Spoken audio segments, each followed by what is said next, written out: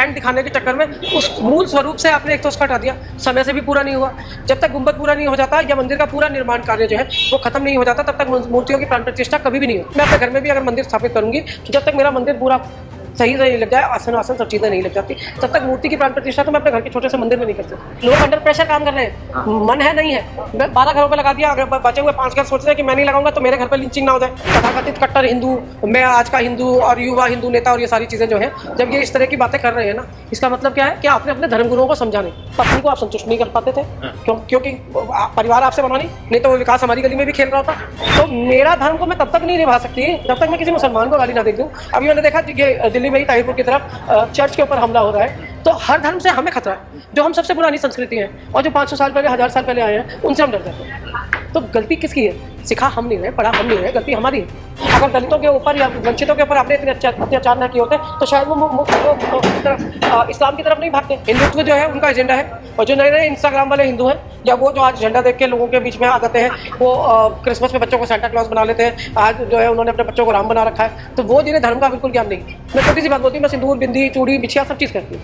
तो मुझे कई लोग मुझे यार, खुजली बहुत होती है, बिंदी नहीं लगा पाते, बाल झड़ जाते हैं, इसलिए सिंदूर नहीं लगा पाते। कौन पहनता है जीन्स के साथ में चूड़ियाँ? आप छोड़ रहे हैं। किसी ने नहीं छोड़वाया आपसे?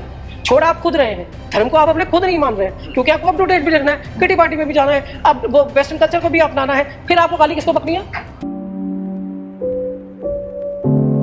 बीजेपी की तरफ़ से बकायदा उनके कार्यकर्ता लोगों के घरों तक लगा के गए हैं। हाँ। मार्केट एसोसिएशन को मॉल्स को स्कूल्स को कॉलेजेस को इंस्टीट्यूशन को शोभा यात्रा निकालने की हाँ। और इस तरह के इवेंट को करने की अपने यहाँ कल्चरल प्रोग्राम करने की। इन चीज़ों की बकायदा जो है उनको पर, उनको कहा गया कि उन्होंने किया वो करें। तो लोग अंडर प्रेशर काम कर रहे हैं। मन है नहीं है। मैं बारह घरों पे लगा दिया अगर बचे हुए पाँच घर सोच रहे हैं कि मैं नहीं लगाऊँगा तो मेरे घर पे लिंचिंग ना हो जाए। हाँ।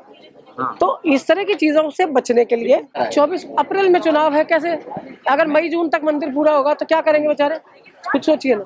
देखिए सबसे पहली चीज़ ये है कि चारों शंकराचार्यों ने जो कहा इस देश के ज़्यादातर हिंदुओं ने उस बात का अनुमोदन किया कि शंकराचार्यों से ज़्यादा जानकार जो है सनातन धर्म का कोई नहीं है। उनकी बातों को सुनना चाहिए उनकी बात पे काम देना चाहिए और कुछ दिन अगर चाहे हो सके तो या तो आप काम दुगनी ज़ोर से कराएँ नहीं तो फिर तब तक रुकें जब तक प्राण प्रतिष्ठा से पहले जो है मंदिर जो है वो पूरा नहीं हो जाता। इतना बड़ा मंदिर बनाने की ज़रूरत नहीं थी। पूरी तरह से आपने चीज़ों को बहुत बड़ा, बहुत विशाल ग्रैंड दिखाने के चक्कर में उस मूल स्वरूप से आपने एक तो उसका हटा दिया। समय से भी पूरा नहीं हुआ। जब तक गुंबद पूरा नहीं हो जाता या मंदिर का पूरा निर्माण कार्य जो है वो खत्म नहीं हो जाता, तब तक मूर्तियों की प्राण प्रतिष्ठा कभी भी नहीं होती। कोई नहीं करता। मैं अपने घर में भी अगर मंदिर स्थापित करूँगी तो जब तक मेरा मंदिर पूरा सही से नहीं लग जाए, आसन आसन सब चीज़ें नहीं लग जाती। तब तक मूर्ति की प्राण प्रतिष्ठा तो मैं अपने घर के छोटे से मंदिर में नहीं कर सकती। तो आप इतना भव्य, इतना बड़ा मंदिर बना रहे हैं। वहाँ इन चीज़ों का आप ध्यान नहीं रख रहे हैं। और अगर आप ये चीज़ करा भी रहे हैं ठीक है? तो सबसे बड़ी बात क्या है कि 2024 का इलेक्शन ये आ गया अप्रैल में चुनाव। मु- मुद्दे तो बीजेपी के पास कभी भी नहीं थे। हिंदुत्व जो है उनका एजेंडा है। और जो नए नए इंस्टाग्राम वाले हिंदू हैं या वो जो आज झंडा देख के लोगों के बीच में आ जाते हैं वो क्रिसमस पे बच्चों को सेंटा क्लॉज बना लेते हैं। आज जो है उन्होंने अपने बच्चों को राम बना रखा है। तो वो जिन्हें धर्म का बिल्कुल ज्ञान नहीं है वो इंस्टाग्राम फेसबुक वाला जो लाइव वो है ना एक इवेंट ग्रैंड इवेंट जो है छोटी सी बात बताती हूँ। आज आ, अमर जवान ज्योति से वो लॉ को हटा दिया गया। किसको फ़र्क पड़ गया? किसको फ़र्क पड़ गया? आज भी लोग वहाँ खड़े होकर सिर्फ़ फ़ोटो ही खिंचवाते हैं। क्यों? क्योंकि उस जगह की आप महत्वता नहीं समझते। अगर अपने देश के सैनिकों के लिए वो किसी भी युद्ध में लड़े किसी भी युद्ध में लड़े हो, अगर उन्होंने अपने देश के सैनिकों के बलिदान को आपने समझा होता तो उस ज्योति के बुझने का आपको दर्द होता। आज भी वहाँ लोग क्यों जाते हैं? लाइट्स बहुत अच्छी हैं। वो लुक बड़ा अच्छा आ रहा है। काला गैलोर गैलोर है। फेसबुक पे मेरी फ़ोटो अच्छी आएगी। इंस्टाग्राम के लिए मेरी फ़ोटो पिक्चर परफेक्ट है। तो आदमी तैयार भी उसी के लिए होता है। बात भी उसी के लिए कर रहा होता है। तो जब आपका एक लार्जर देन लाइफ आपके चीज़ें सामने चीज़ कर दी गई है, बारह घरों पे लगे पाँच पे नहीं है, वो भी आ जाएगा।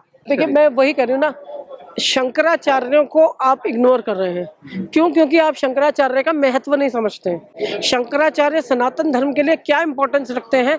आज की डेट में अगर कोई वो तथाकथित कट्टर हिंदू, मैं आज का हिंदू और युवा हिंदू नेता और ये सारी चीज़ें जो हैं, जब ये इस तरह की बातें कर रहे हैं ना, इसका मतलब क्या है? क्या आपने अपने धर्मगुरुओं को समझा नहीं? समझा नहीं, पढ़ा नहीं, उसके बारे में धर्म कौन सिखाता है? स्कूल की किताबें सिखाती हैं। कौन सिखाता है? मुस्लिम बच्चे मदरसे में जाते हैं, दीन सीखते हैं ना आतंकवाद नहीं सीखते हैं। आप कितना भी उनको गाली बक दीजिए, लेकिन उनका जो है आठ नौ साल का बच्चा जो है कुरान की आयतें आपको ऐसे पढ़ पढ़ के सुना देगा कि आप भी एकदम से वो जाएँगे कि इसका मतलब पूछो तो शायद उन बच्चों को मतलब भी पता। उन्होंने वो डटते हैं, उसको जो पाँच वक्त की नमाज़ है, उसे वो पढ़ते हैं, पीते हैं। हम अपने बच्चों को क्या सिखा रहे हैं? अगर मैंने अपने बच्चों से धर्म कर्म कराना है तो मैं उनको बताऊँगी, इस व्रत की ये महत्वता है, इस मंत्र का ये मतलब है, इस चीज़ का ये है। तुम्हें अगर मतलब तुम्हें शक्ति चाहिए तो तुम्हें किसकी पूजा करनी चाहिए? तुम्हें अगर विद्या चाहिए तो तुम्हें किसकी पूजा करनी है? तो वो धर्म जो है, हमें अप टू डेट भी दिखना है। ठीक है? मैं छोटी सी बात बोलती हूँ, मैं सिंदूर, बिंदी, चूड़ी, बिछिया सब चीज़ करती हूँ। तो मुझे कई लोग यार, खुजली बहुत होती है, बिंदी नहीं लगा पाते, बाल झड़ जाते हैं, इसलिए सिंदूर नहीं लगा पाते। कौन पहनता है जीन्स के साथ में चूड़ियाँ? आप छोड़ रहे हैं। किसी ने नहीं छोड़वाया आपसे। छोड़, आप खुद रहे हैं। धर्म को आप अपने खुद नहीं मान रहे हैं, क्योंकि आपको अप टू डेट भी रखना है किटी पार्टी में भी जाना है। अब वो वेस्टर्न कल्चर को भी अपनाना है, फिर आपको गाली किसको बकनी है? कांग्रेस को। क्यों? क्योंकि इन्होंने हमें नहीं पढ़ाया। आपको जो इतिहास पढ़ाया जाता है आपको इतिहास पढ़ाया जाता है। इतिहास में राम जी नहीं होते। राम जी वो है वो माइथोलॉजिकल हमारे जो अपने उपनिषद हैं वेद हैं ये सारी चीज़ें आपको अपने घर से सीखनी है। अगर आपके बाप दादाओं ने नहीं सिखाया तो गलती उनकी है। ये कांग्रेस की गलती नहीं है।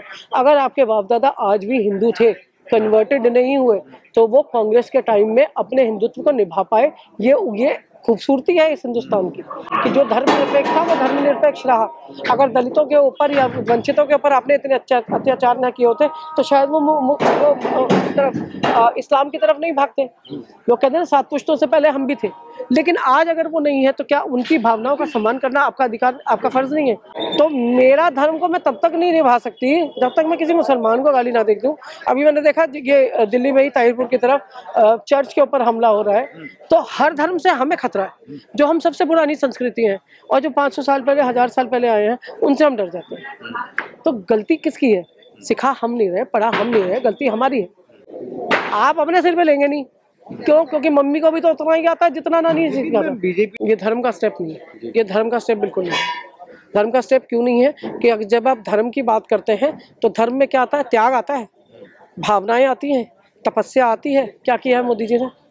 इस देश के लोगों को क्या सिखाया है मुझे तो एक ये लाइन ना मुझे बड़ी अच्छी लगती है कि मैंने इसके लिए छोड़ दिया मैंने उसके लिए पत्नी को आप संतुष्ट नहीं कर पाते थे? क्यों क्योंकि परिवार आपसे बना नहीं नहीं तो वो विकास हमारी गली में भी खेल रहा होता है ना? एक विकास मोदी हमारे यहाँ भी होता ना? नहीं है ना? क्यों नहीं है? क्योंकि मोदी जी अपनी पत्नी के साथ जो है निभा नहीं पाए। ऊँचे ऊँचे ख्वाब थे। पत्नी शायद उनके रास्तों में बेड़ियाँ डाल रही थी। वो उनको इसलिए छोड़ के भाग गए। नहीं तो जब तक वो कॉलम नहीं आता ना कि आप विवाहित हैं या अविवाहित हैं। ये अटल बिहारी जी की तरह ये भी मौज उड़ा रहे होंगे। चिर कुमारे बनते